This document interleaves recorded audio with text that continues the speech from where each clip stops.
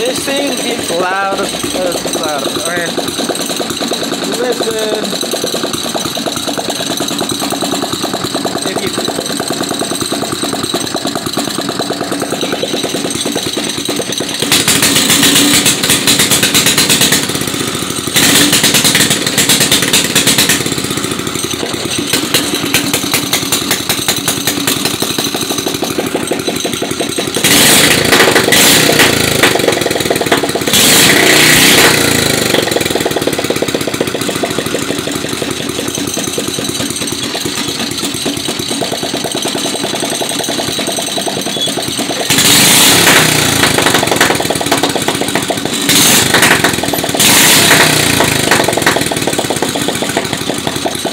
More time for the boys.